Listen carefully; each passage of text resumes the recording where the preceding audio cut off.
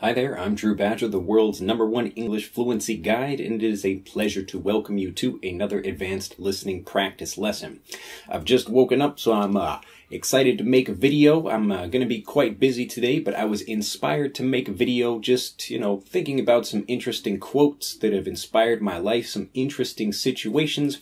And uh, actually, I received a mail from one learner who was saying, oh, could I review some things about the past tense? So I thought, why not just, you know, kind of combine these two ideas and talk about some quotes and uh, situations that have been powerful for my own life but also do so while talking about things from the past. So I'll be describing things in the past and using a lot of past tense um, in this uh, in this video. Anyway, uh, so if I make a mistake or anything while I'm speaking, uh, it's just because I literally just woke up maybe like a couple minutes ago. So I'm, whoa, I'm actually really excited, but yeah. Anyway, I'm trying to wake up. It's a beautiful day here in Japan. We actually had a um, uh, an earthquake last night in, uh, let's see, like I'm in Nagasaki Prefecture and uh, Kumamoto. Uh, the next prefecture uh, over had a, like a pretty bad earthquake, like a level seven on the Richter scale, and so we actually felt that last night. Uh, so we were having maybe like a level four, level three earthquake around here. So it wasn't so bad in Nagasaki, uh, but over there was actually uh, pretty, you know, some places were actually pretty badly damaged. So I didn't quite sleep so well last night. But anyway, I'm excited to wake up and uh, make this video for you now. Uh, as usual, uh, if you're new to this uh, series, I'd really appreciate it if you go back and watch some of the previous videos that we made on the channel. That way you can understand this video series better. And uh, if you're ready and you're excited to begin, here we go. So today I thought I would talk about uh, three quotes that have inspired me, from kind of three situations, and maybe you've had the same experience in your own life. You probably had, you know, just in your own life growing up.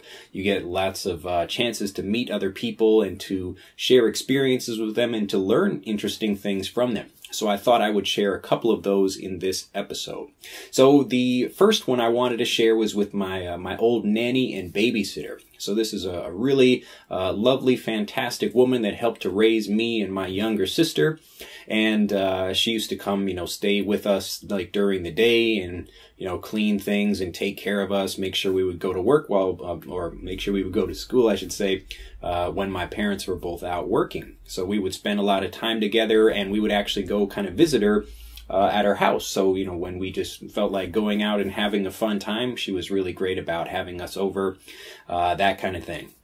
So on one occasion when I was riding in the car with her and my sister was with me, we were just going to spend like spend the night at her house.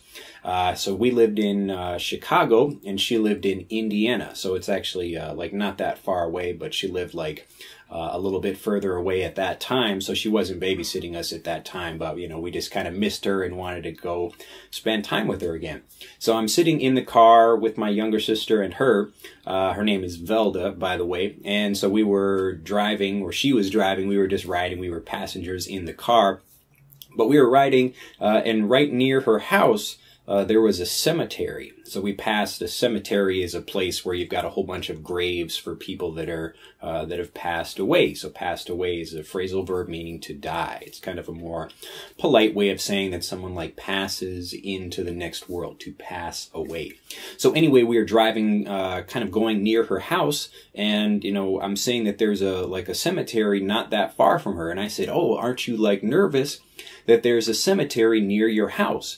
And she kind of thought for a minute and she looked at me and she said, We have more to fear from the living than from the dead. We have more to fear from the living than from the dead. And I thought, wow, that, that was like a really profound, really profound idea.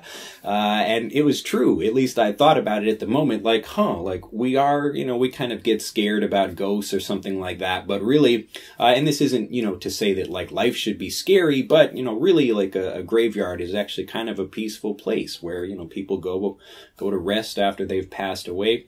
But it really made me think about something in a different way. And it's something that really stuck with me when something sticks with you. Uh, it's like an idea or something that you you keep, and it's uh, very powerful. It impacts you in a particular way. So this idea stuck with me of of you know recognizing that we have more to fear from the living than we do from the dead. Anyway, so that's the first story. The second one uh, was when I was uh, I was working at a marina. So this is just a place where there are boats, like a local harbor, that kind of thing. Uh, back when I was in college, uh, no, I was in high school, and uh, I remember talking to uh, kind of like the owner, or not the owner, but like the manager of that marina. This is back in Chicago, a really great place. I would it was actually a lot of fun during the summer to hang out on different boats and talk to people. I was like getting tips for you know helping people do different stuff, but it was a lot of fun as a summer job. Uh, and this is a typical thing people do in America. They maybe like, I would be studying, you know, like one thing in school, but then go get a summer job doing, you know, whatever, like construction or something like that, uh, just to get outside or do something interesting with my time. So on this occasion, uh, I was talking with the, the manager and he was telling me about a party he was going to. And I knew he had a girlfriend or whatever. So I said, Hey, uh, are you going to bring your girlfriend with you to this party? And he said, he kind of like thought for a minute, just like Velda did. And he like thought for a minute and he looked at me and he said, you don't bring sand to the beach. You don't bring sand to the beach.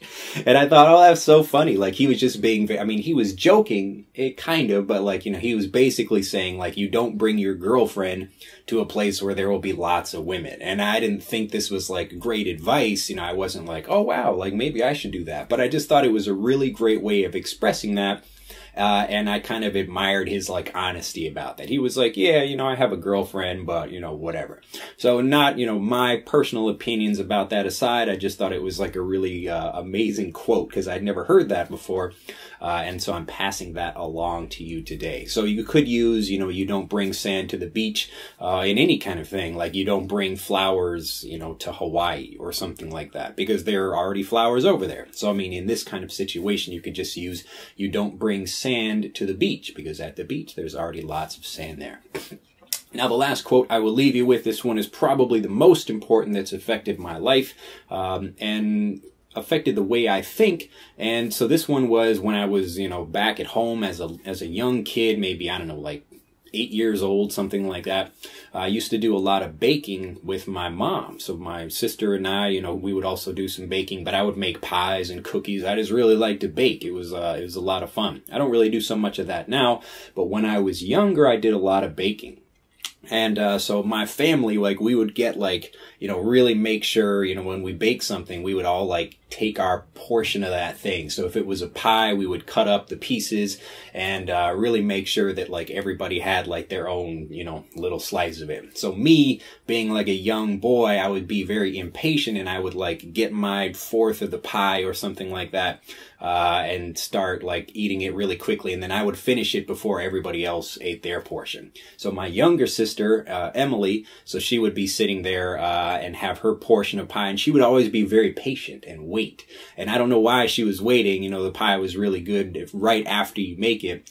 Uh, but so she would be sitting there and then wait like a, you know, quite a while. And that, when I'm using this phrase, she would be sitting there. What I mean is like she would be doing something uh, or whatever, but like taking time to do something. So she would be sitting there. Doesn't mean she's literally sitting someplace but anyway, so she would be sitting there and thinking, uh, okay, I'm going to wait and like kind of savor it. So savor the anticipation of, of eating the pie. So she was very good about that. I was not, uh, as I was saying, I was kind of uh, like an impatient kind of child. So anyway, I, her, her piece of the pie would be sitting there, you know, in the pie tin in the refrigerator and I would slowly like cut into the side of it. so you'd have the kind of top of the pie and I would like slowly kind of walk by and be like, oh, maybe I can have some pie. And I would slowly like cut in on the side of the pie between the top layer uh, and the crust, that kind of thing. So from the top, it looked like there was still a full piece of pie, but really I was like cutting into the side of it. But this is just kind of like a silly thing about me. But getting back to uh, the point about the quote here, when I was talking with my dad about like after we would just make a pie and then we would actually cut it into four sections, uh, then we would actually kind of like put like our initial on it, like the first letter of our first name. So I would have like an A for Andrew. So Andrew is my first name, my real name, even though I go by Drew. Uh, but, um, so anyway, I would like carve, you know, the name of like my, my name and D for dad or whatever. And I was talking to my dad one day and I said, Hey, like, what if I cut, uh, you know, I'm going to cut like all the, all like the pieces or whatever. He said, yeah, sure. You can cut, you know, cut the, cut the pie how you would like to distribute it. Uh, so how you would like to separate it between four people. And I said, Oh, fantastic. I'm going to cut the pie and give myself a huge piece and give all you guys like just a tiny piece. And he said, Okay, you cut, I choose. You cut, I choose.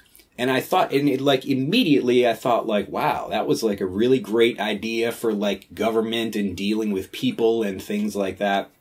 And so my dad was basically saying like, you can cut whatever size piece you want, like you make the portions, but then I get to choose which piece I want. And you can believe that I was definitely like, I'm going to like cut it exactly. I had like a ruler out to make sure it was like exactly four pieces, exactly of equal size.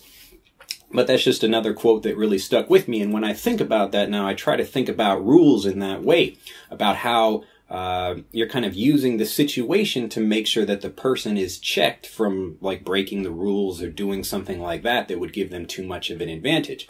So another thing, like another example of this rule is, you know, I would be riding in the car with my dad and he would say, oh, you can listen to whatever you want on the radio. And I would say, oh, fantastic. So I would pick a channel and he would say, you can pick the channel but I get to pick the volume. so you can pick the channel, but I can pick the volume. So what that means is that like if I select a channel that's like, you know, like loud rock and roll that maybe he doesn't want to listen to, he can turn the volume all the way off and then we don't listen to anything. So it forces you to compromise and actually have like a really good situation like that. Anyway, that's just uh, three powerful quotes, uh, situations from my life that I wanted to share with you. I thought it was just a great opportunity. So even though I'm uh, kind of still waking up over here in Japan, uh, and it's a beautiful day. I thought I would share that with you. I do uh, encourage you to like this video if you uh, really enjoyed it, and I hope you did. And if there are specific things you'd like to learn more about or hear more about in these advanced listening practice lessons, uh, do let me know in the comments below. Just one quick note about uh, subtitles. So when we do have subtitles, they will be optional. So I've seen people talking in the comments about like, no, don't make, don't put subtitles in. And other people say, do put subtitles in. So it doesn't matter. If you want to watch with subtitles, you can. And if you don't want to watch with subtitles, you don't have to watch with subtitles. It's very easy. Anyway, uh, that's it for this video. Again, do like it, do share it with a couple of people, and subscribe to the EnglishAnyone.com YouTube channel if you have not already subscribed. And I look forward to seeing you in the next video lesson. Bye-bye. To continue learning, click on the link in this video to download Speak English Naturally, our free guide to speaking and sounding like a native English speaker. The guide reveals the three most important kinds of conversational English you must learn if you want to sound native and will help you experience instant improvement in your fluency and speaking confidence. To download your free guide on a mobile device, click on the link in the upper right of this video. To download your free guide from a computer, click on the link in the lower right of this video. I look forward to seeing you in the guide.